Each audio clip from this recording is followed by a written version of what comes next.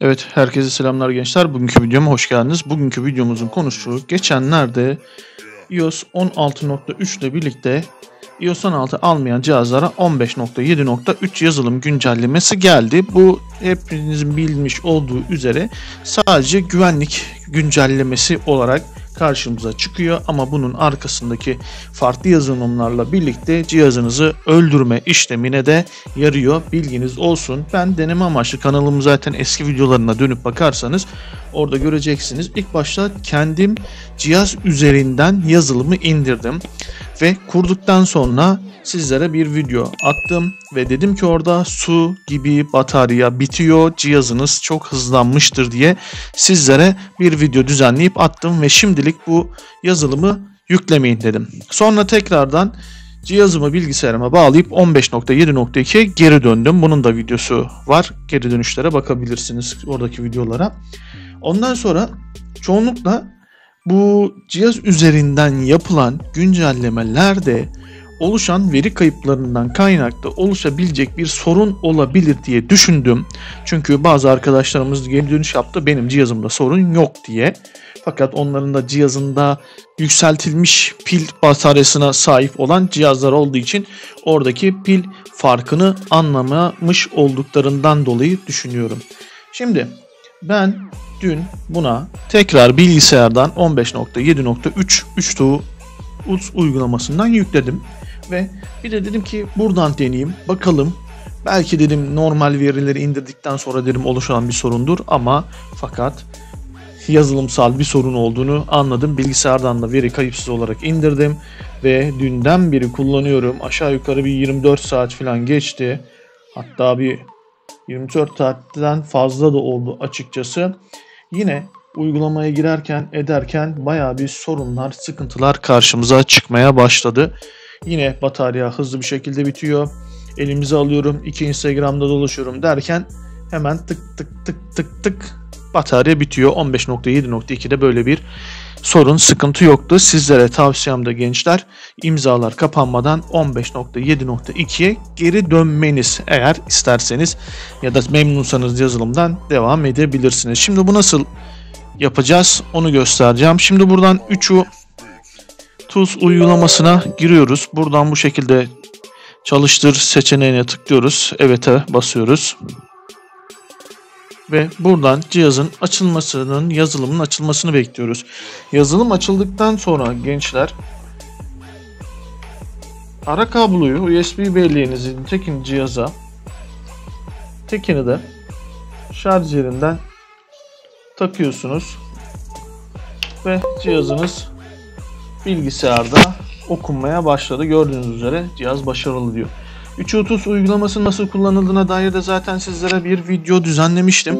İsterseniz onları da bakabilirsiniz. Eğer daha da detaylı bir 330 uygulamasının detaylarını istiyorsanız açıkçası bununla ilgili de video düzenleyebilirim. Tekrardan size altta yorumlara yazabilirsiniz. Şimdi burada yapmamız gerekli olan şey görüyorsunuz. Direktmen şu yukarıdaki ara çubuğa geliyorsunuz. Ara çubuktan sağ panelin olduğu tarafta alttan ikinci de yazılım var.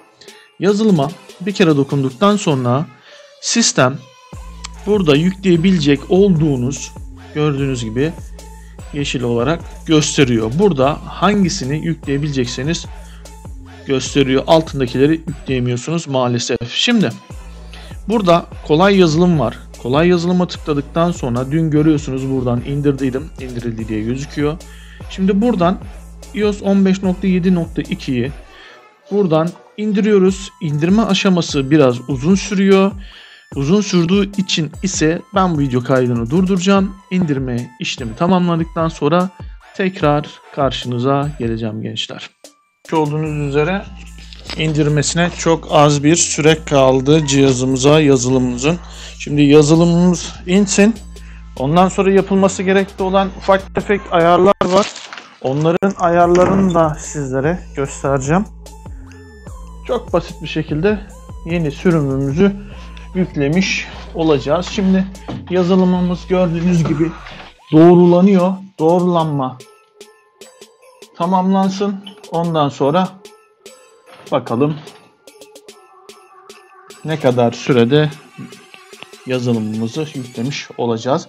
Şimdi bakın gençler şunu yapmayı unutmayın. Alt tarafta görmüş olduğunuz üzere veri sakla, tam yazılım, anti kurtarma, flash düzen ve sadece verileri sil diye 5 tane bölüm var. Görüyorsunuz ama sizin yapmanız gerekli olan bu arada indirildi. Verileri sakla. Verilerinizi sakladığınız zaman cihazınızdan hiçbir şekilde hiçbir veriniz silinmez. Tam yazılım attığınız zaman ise komple gider. Anti kurtarmada böyle fişe taktığınız gibi iPhone'unuza ekranda böyle takılı gözüküyor ya sıkıntılı bir şekilde. Onu da anti kurtarmayla düzenleyebilirsiniz. Flash düzenlemede işte Jennerbag falan filan muhabbetlerine benzer bir olaylar. Oralara hiç girmeyelim. Yanlış hatırlamıyorsam flash belleklerle bir şeydi. Neyse.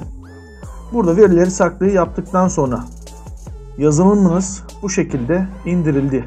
Sadece yapmanız gerekli olan şu. Yazılımı yükle basıyorsunuz. Gördüğünüz gibi flash modu verileri sakla 15.7.3'ten 15.7.2'ye geri dönüş yapılacak diyor. Bilginiz olsun.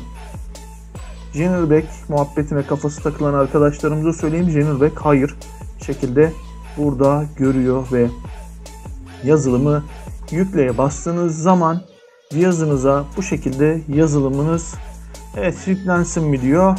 Evet'e basıyorsunuz görmüş olduğunuz üzere bu esnada kesinlikle ara kabloyu yani USB belleğinizi cihaza bağlayan sistemi kesinlikle ayırmıyorsunuz. Ayırırsanız sorunlar, sıkıntılarla karşılaştırma ihtimaliniz büyük. Ondan sonra anti resetler falan atmanız gerekir cihazı kurtarabilmeniz için. Kesinlikle o şekilde yapmayın. Şimdi bunun yüklenmesi biraz sürecek gençler. Bunun yüklenmesi süreci için ben yine video kaydını durduruyorum ve yüklenmesine yakın tekrar kaydı açarım.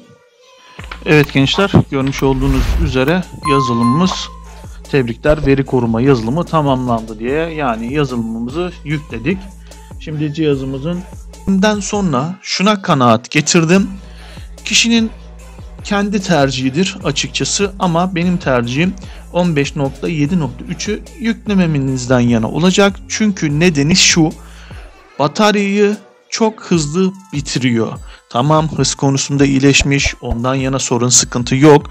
Fakat bataryanız tık tık tık tık tık gibi diye bitiyor. Instagram'dayım. Telefonum şarjda.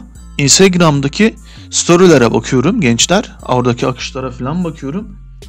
Arkadaşlar yok. Şarjdayken cihaz mı şey yapar? Boşalır yani açıkçası. Öyle söyleyeyim size. Ama benim cihazımda o şekilde sorunlarla, sıkıntılarla karşılaştıydım. Ama 15.7.2'de karşılaşmadıydım. Şimdi cihazımız açıldı gençler. Ayarlara giriyorum.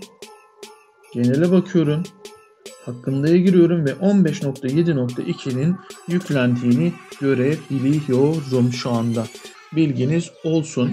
Ve yazılım ve yazılım güncellemeye geldiğim zaman bana otomatik olarak 15.7.3'ün geldiğini gösteriyor. Bilginiz olsun. Bu şekilde güncellemelerinizi yapabilirsiniz kafanız rahat bir şekilde. Yalnız 15.7.2'ye geri dönmek istiyorsanız elinizi biraz çabuk tutun çünkü imzaların kapanmasına birkaç gün kaldı. 2-3 gün önce zaten yayınlandı. Bir hafta kadar bir açık kalıyor. Bilginiz olsun. Dönmek istiyorsanız bir an önce de dönebilirsiniz gençler. Haberiniz ola. Evet bu video bu kadardı. Diğer videolarda görüşünceye dek hepiniz Allah'a emanet olun. Hoşçakalın.